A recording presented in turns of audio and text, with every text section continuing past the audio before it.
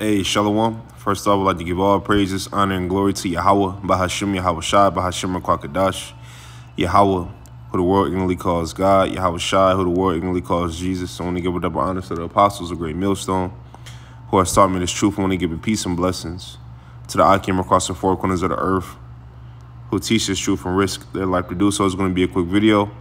Lord, the video is edifying. Only I can get something from this video.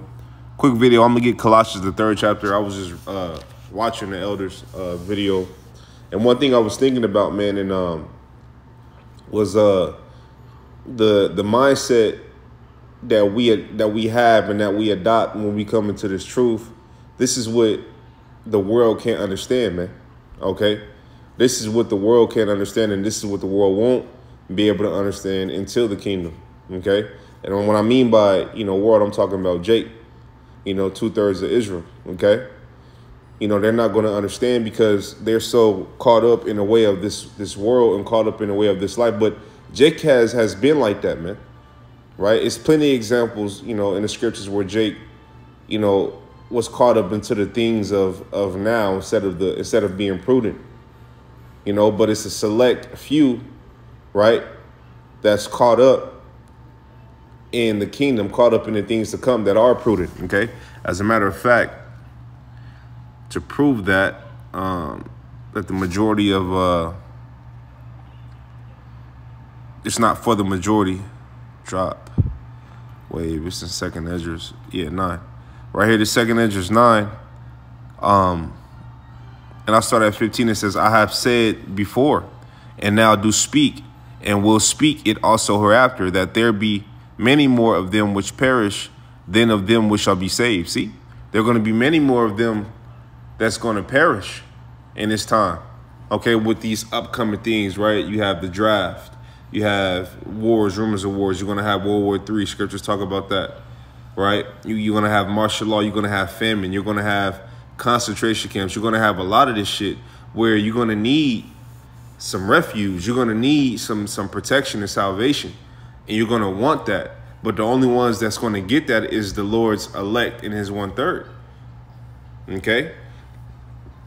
And you people mocking, you laughing, you scoffing, you show your incredulity toward the man teaching and preaching his word, but you don't understand that in your security, right? You're gonna you're gonna you when you think you're secure, you're gonna understand oh shit, danger.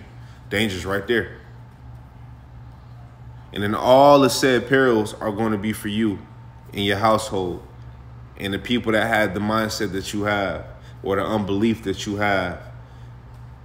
Okay? This is 16. It says, uh, like as a wave is greater than a drop, like as a wave is greater than a drop. So a wave of water is greater than a drop of water. A drop of water is compared to those that's going to be saved and protected. That's the drop. Now the wave is for those that's going to be destroyed, man. Okay? So the wave represents the multitude of those that's going to be destroyed. The drop represents really the elect in the one third. Okay. And that's what you should be trying to understand instead of looking at the appearance of men and looking at the out looking at the outward appearance of men. Okay, because you that, that could lead you not to not know what the hell you're talking about, man. Okay, this is Colossians 3 and 1. It says, If ye then be risen with Hamashiach, seek those things which are above where Hamashiach sitteth on the right hand of, of the Most High. And if you have your mind towards that, then you're going to have your mind towards, okay, what do I need to do in order to get right, to be right? What do I need to do um, in order to be protected, you know, from these these times that are, are to come? Okay? Right? What do I need to do for my household? What do I need to do as a man of the Lord? You know, these are the things you're going to have to wrap your mind around. And that comes with studying, that comes with uh, watching brothers' videos, that come with reading, that comes with getting breakdowns, that come with, you know, drinking the milk, that come with eating the meat. Okay?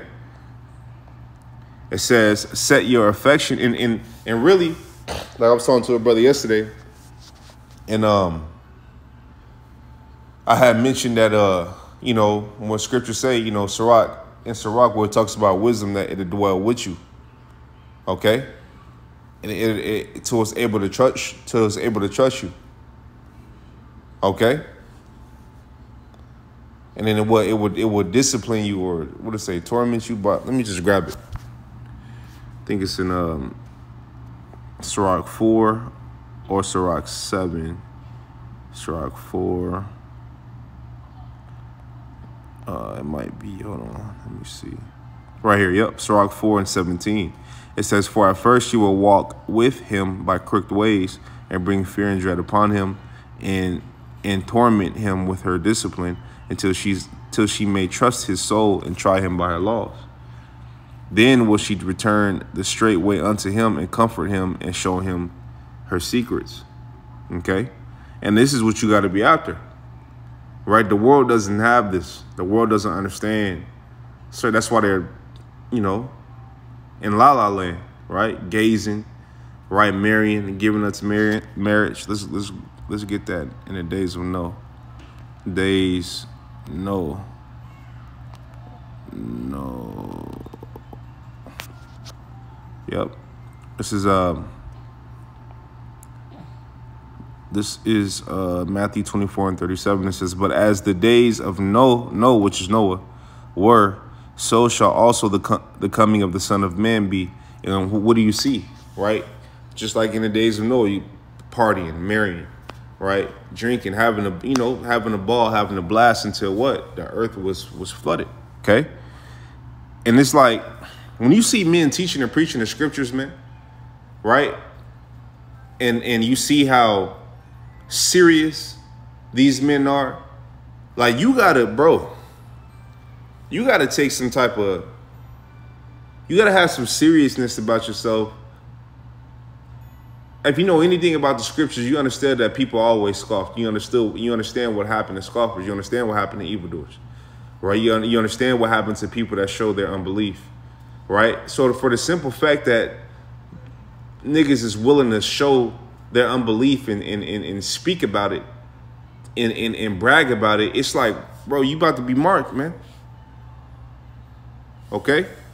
It says, uh, like, what what about the dude, what about the people that did the same thing in the, in the first, you know, destruction of the, of the world, which was by way of water?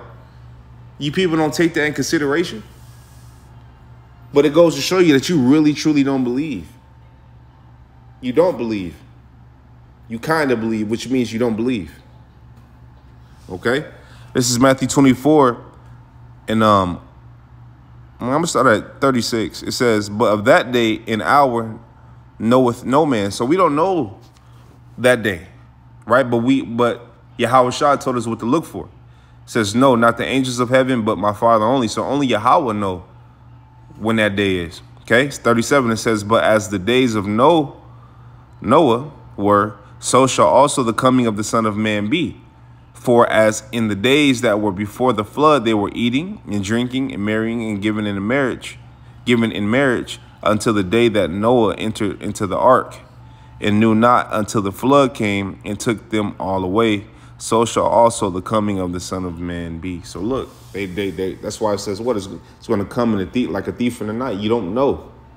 You're going to be oblivious. You don't know because you're not watching, you're not looking, you're not seeking, you're not, you don't want any understanding right? You feel like you got it all figured out and you don't. When the when the very thing that you put confidence in, which is this system, when it crashes and it fails, what are you gonna do? Okay?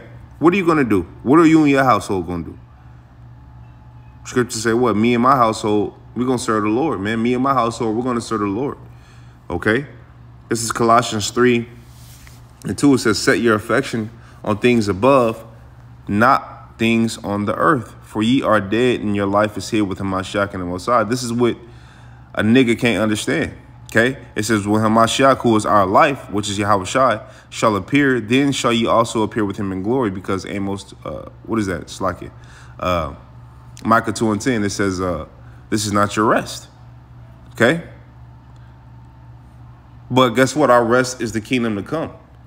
It says, When Hamashiach, who is our life, shall appear, then shall ye also appear with him in glory. Mortify therefore your members, which are upon the earth, fornication, uncleanness, inordinate affection, evil concupiscence, right? It says, in covetousness, which is idolatry. And this is everything, this is every, this is a trait that every nigga got, man. Okay?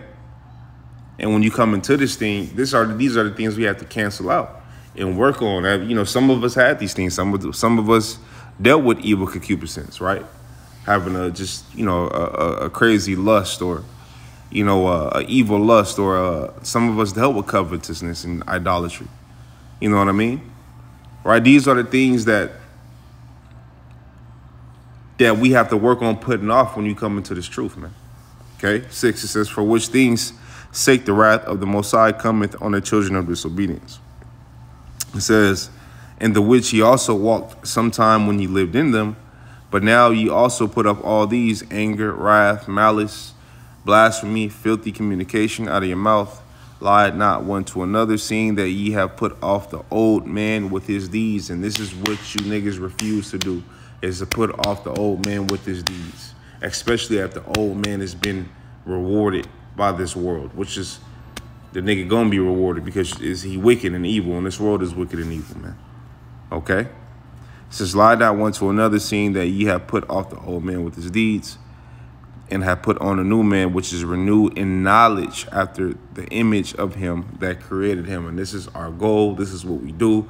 This is what we strive for, man. And in order to do that, you got to know, you know, you got to study. You got to know what the Lord is about. Okay? So with that, man, Lord, the video is edifying. Only I can got something from this video. I want to give all praises, honor, and glory to Yahweh, by Hashem Yahweh Shai, by Hashem Kakadash. I want to tell you brothers keep pushing on to the next Shalom.